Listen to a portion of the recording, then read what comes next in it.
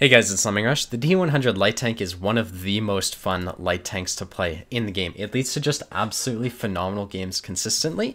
With a 40% camo rating and 465 meters free range, it's like epic carries are very common. So today, that's what we're going to be trying for. Oh shit. Alright, so for this one we're on Overlord. Now, Overlord is, um...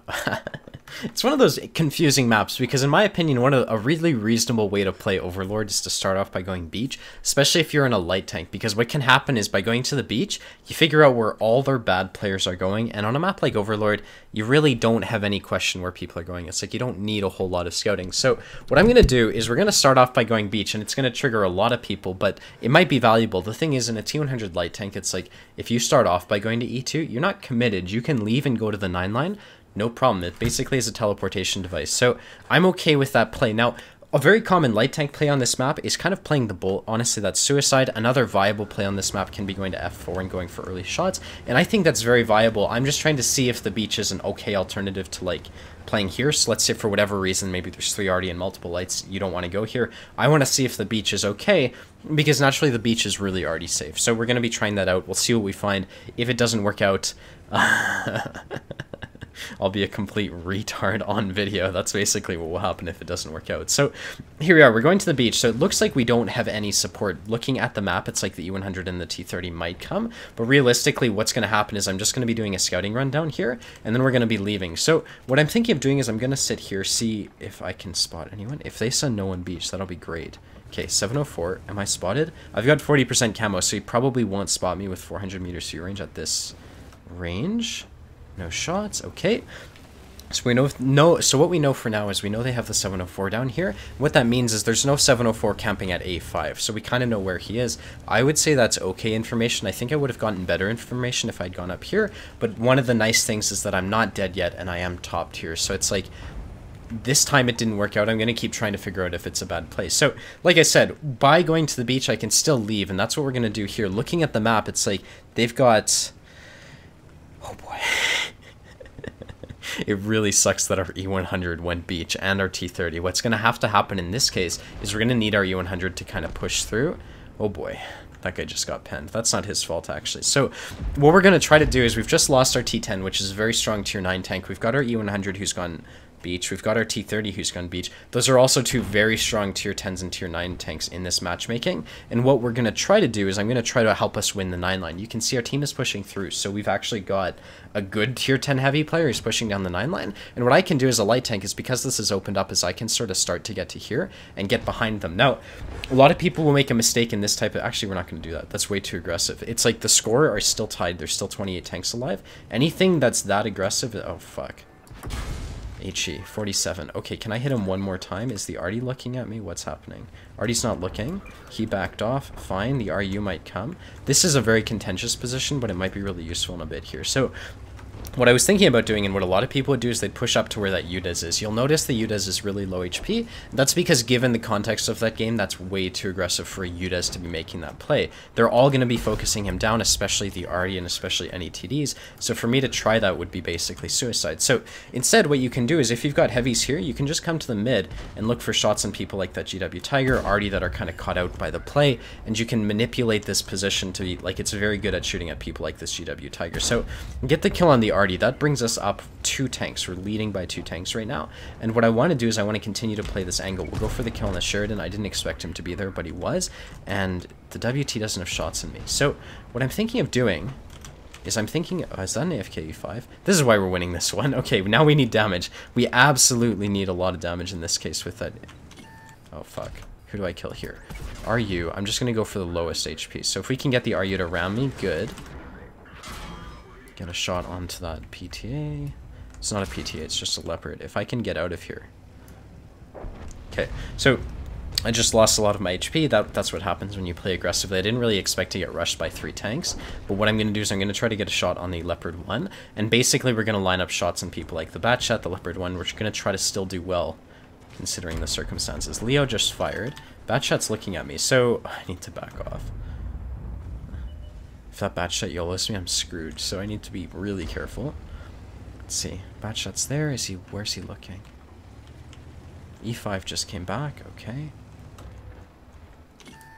Good. Put a shot into the bat shot. He's now a one-shot. I really high-rolled that one, so we might be able to hit him here.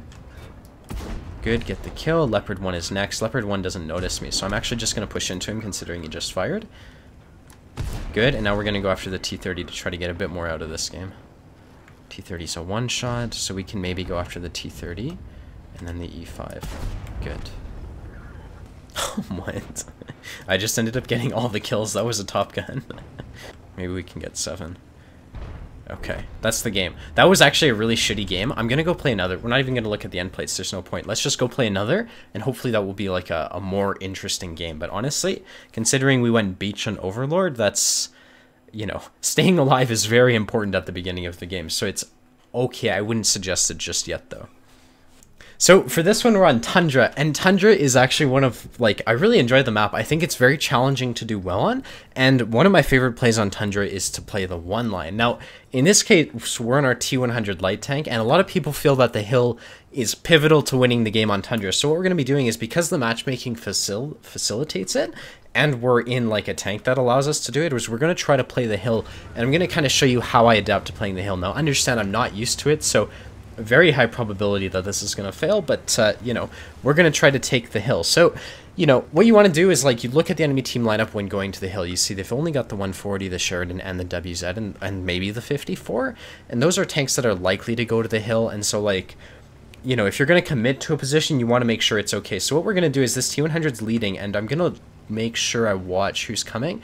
And I, if there was a tank there that I thought I couldn't fight, like for example the tier 10, like the 140, I would have just stopped and not gone. So from here, it looks like you have some shots. Now one of the problems with playing a position like this is you have to come all the way over the edge if you want shots in people. So this time 3 is pushing forwards, he wasn't paying attention, I put a shot into him. He doesn't seem like the best of players, partly because he's YOLOing the middle of the map, and then also partly because he looked this direction after I shot him, so I'm gonna, you know, I'm aware of that. Now, this 140 just shot and he's looking away, so I'm gonna put a shot into him. You can see the one, the T-54 actually is camping me. So, um, you know, what you want to do in a situation like this is it's a very aggressive position. You should expect a couple things. You should expect Artie to be focusing you down, and then you should also expect anyone who's kind of close to you to be focusing down because you're so far ahead of everyone that you need to be very like that's just going to happen. So, you know, what I like to do on a position like this is I try to look for shots on people who are unsuspecting. So, for example, 50 TP, he's in a weird position, but you can actually get shots all the way to C1 from here. And then also what's happening is as these guys push through, I'll have shots in them. So, I need to make sure as I back up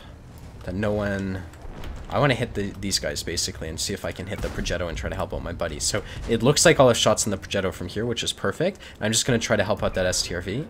I wasn't able to save him, of course, like this thing reloads every six seconds, but from here we're able to put shots into people like the Progetto who's trying to flank us, and this M103 if he pushes forward. So the M103 is a one-shot, he's going to be falling back, obviously. The next thing is kind of understanding that this Progetto is going to, like, push. So what I'm going to do is I don't expect anyone to be ready for it because I'm 70 HP, and it's like, here's this opportunity, there's a Progetto, we can put shots into him, and then once he dies, we can also go after the M103, who will be a one-shot in a sec here. So UDES kills the Progetto, good, and now I wanted to engage the M103, but on second thought, this Foch here will probably YOLO me. So how can I engage the M103, like kill him without, you know, well, okay, so I left the hill because we are pushing into like campers, right? It's not a good place. So going after this M103 is fine. He's definitely committed, and he's looking away right here. So I'm going to drive forwards, aim with third person on the side of his turret. That gets me the kill, and now they've got a Sheridan pushing through. So we don't know where their Foch is. That's an SU-130, so let's get safe from him. And let's also go after that Sheridan who's totally wrecking our SU-130.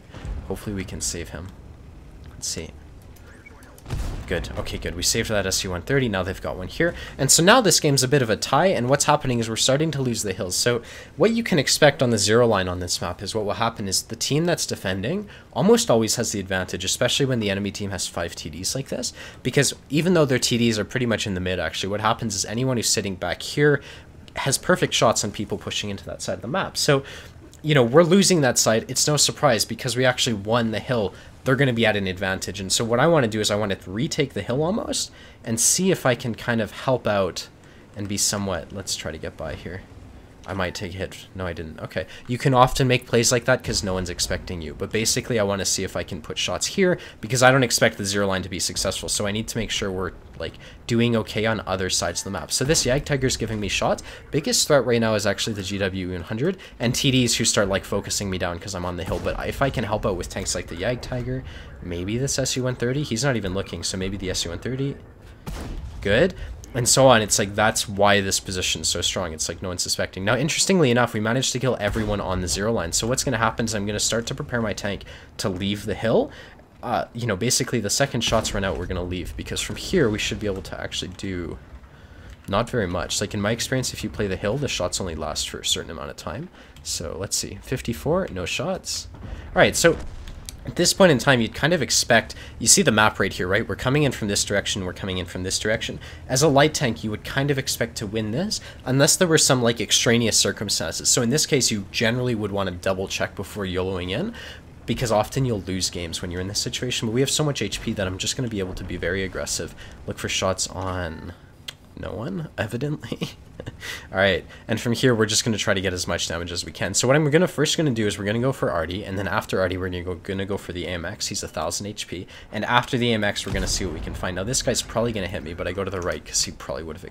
I go to the other side that he would have expected. okay, we pick. What? Fuck. This is where I get penned, right? God fucking damn it. Good, okay, someone else got the kill. No shots in the SU-130. The next target's the AMX. And that will actually be... Oh boy, I wonder if I can get 5k out of this. Okay. So here we need to make sure this guy doesn't fall back, right? Because what will happen is my teammates will get damaged. So I'm okay if he shoots me. I want him to stay away from my teammates because I want to get one more shot of damage, right? So he's going to drive forward. It's perfect. My turret's damaged. Good. We're up to 5k. Now maybe we can get the other kill. Hopefully he stays uh, away from my teammates. Perfect. Oh, fuck. God fucking damn it. hey, but we did hit 5,100 damage. So that's how you'd kind of play the zero line on this map in like a T100 light tank. Uh, I think I might have to start doing that if there's less mediums on the enemy team, because sometimes what can happen is everyone goes there and it just sucks. But if not a whole lot of tanks go to the zero line, it's like it's definitely a very strong position. So that was a mastery badge, second class, high caliber, 606 spotting. So not a whole lot of spotting. It's like, it's Tundra. You can't really expect that. Uh, we ended up making 38,000 credits because we shot a lot of APCR.